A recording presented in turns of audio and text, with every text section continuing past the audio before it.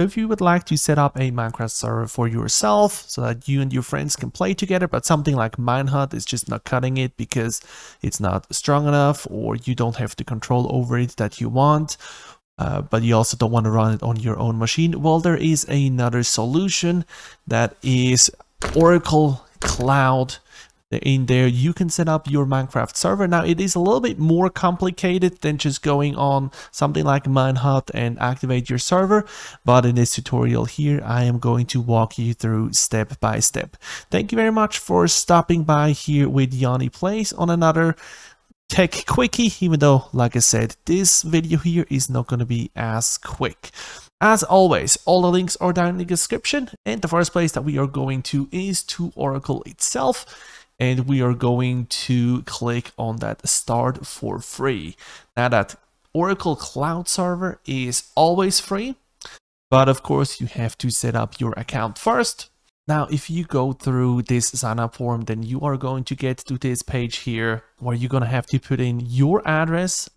You also need to enter a phone number and a payment verification, but it is a free service I'm going to show you why it is a free service and how you can keep it a free service and they're never going to charge you. But the reason why you have to put in all of that information is they a don't want that you just create uh, hundreds thousands of different servers all for free. So they give you one free server and that's it. And uh, that's why they need all this information. And the easiest way to verify somebody nowadays is with uh, credit card information as you can see here, you won't be charged unless you elect to upgrade. And again, if you do it with a credit card, then you can always reverse the charge. So it is secure. I can guarantee you that. And once everything is done, we are having to wait until everything is being set up. So now Oracle Cloud is set up for us and now we have to say what are we going to put on this server and how we give a server do we want. And for that the first thing that we have to do is we have to create a virtual machine. And as you can see here always free eligible and then while we're in here, you can give everything a name. I just call it AMC server. And then down here in create the compartment, you can just leave it on a root. I blurred that out because it's showing my name. Placement, we don't have to worry about. Uh, leave it on whatever is standard selected as long as it says always free eligible on the side of it we don't have to go in there. Uh, image and shape, we go in there and we are going to select what operating system we want running on there. In the image, you can pretty much run whatever you want, whatever you are comfortable with. Uh, I am just going with the uh, Oracle Linux. And then in the shape, we are going to select the Ampere and then down here on the slider, you can select how many uh, CPU cores you want and how much memory you would like assigned. I'm just going with 32 and 6. And here again, if you pull it up too much, eventually it gives you the service limit status saying, hey, that is not free anymore. In networking, usually you can leave everything on standard. So we create a new virtual cloud network we create a new public subnet and then we're making sure that IPv4 is going to be assigned. And next we're getting to the SSH keys and we just want to have a new SSH key generated for us. And we are going to download the private key and also go ahead and save the public key. SSH keys are being used so that you can remote into your server or you can also give the uh, public keys to somebody and then they can remote in. So we save our key. We save the public key. I am just going to put them into a folder where I know where I have them stored. Last section is the boot volume. We can leave that all unticked and then we click on create. On our next screen, we're going to see a big orange square here, and it's going to take a few minutes for everything to provision. And that will be the place where we would have the sponsored segment, but of course I don't have a sponsor. You are actually my sponsor. So if you go down here the bottom and you click the subscribe button, that really helps me out a lot. And as you can see, couple minutes later, we are running. Our virtual machine is set up and now we can start installing things. So now we need to remote into our server. And that's what we are doing with SSH. And there are, if you're on Windows 10, you now have the option to actually do that through the command line. Or we can download PuTTY and we are just going to do that in this tutorial here. And we are just going with the 64-bit load the installer, go through the wizard. Once everything is installed, we are opening up two different things. We are going to open up PuTTY Gen and we're going to open up PuTTY. Go ahead and get PuTTY Gen first. And now in here, we are going to load an existing private key file. We click on load and then we're going to find the private key that we just downloaded. Now, if you are in the folder and you cannot see it, you click on all files. Now here you can see we have that SSH key and we have the public key, but we need the private one. So click on it, click on open. And then we're going to get this warning here telling us that we have to save it as a private key. Of course, we are going to do that. Now, if you want, you can put a password in here to protect this key. I'm just going to skip that this time. Save it as a private key and on yes. And I just call it my demo key private. And next we're going to start up PuTTY. And now in here, we are going under connection, SSH, authentication. And now we are going to connect that key that we just saved with the generation in here. Click on browse. We go back to the folder that we were. And in here, now you can see that PuTTY demo key. Select that. Click on open. Then we navigate all the way back to session. And in here, we are now putting in our IP address and the IP address you can find back on our console. It's in here, you just click on copy. We copy that in here, port we leave on 22, and then we click on open. Once everything is open, now we can go ahead and log in. And to log in, we use our username. And username you can find here. Log in with OPC we click on enter. And because we put that key in, we are now logged in. So you can see we're now in as OPC in our MC server. And now we have to type in a few commands and all of the commands I am going to put down into the description so that you can just copy them. And if you want to paste something in here, you just right click. So the first command that we put in is this one here. So we want to have a list of all the available Java versions. And in here, we are going to pick the highest version. I'm going to install a Java 1.18.1 server.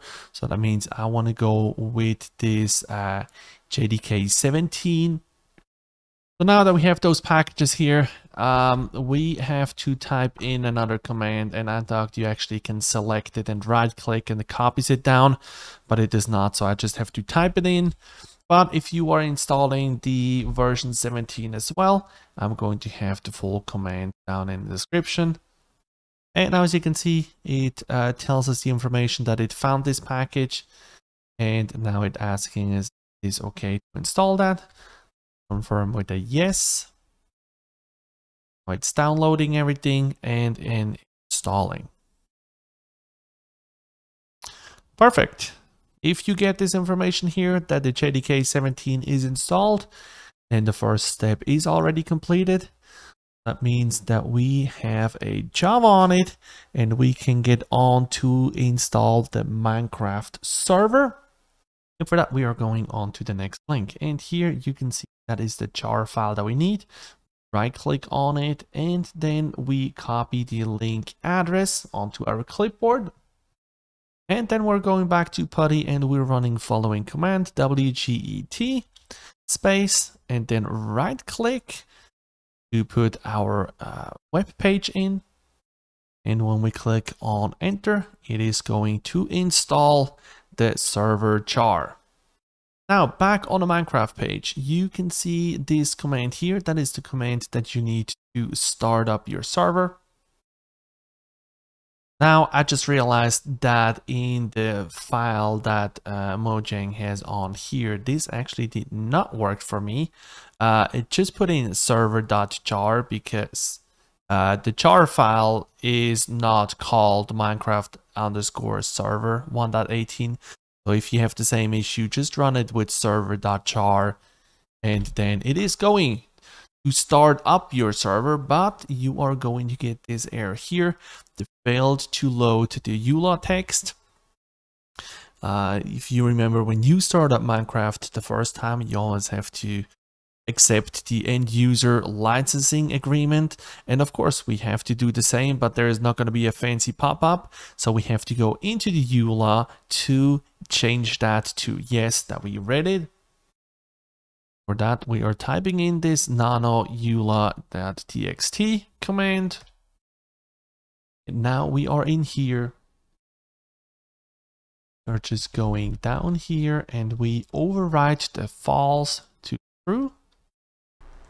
And then to get out here, we are hitting Control X and then we confirm with Y for yes to get out. And now we can try running that server again. And as you can see, the server is now starting up, preparing spawn area and everything. But that is not the end of the video yet, because we still have to make sure that people are actually able to connect to this server. That we're gonna have to change a few things in the firewall and make sure that all the network settings are correct. So back on our virtual machine, we now have to go and configure a few things in our subnet that is down here. We click on it.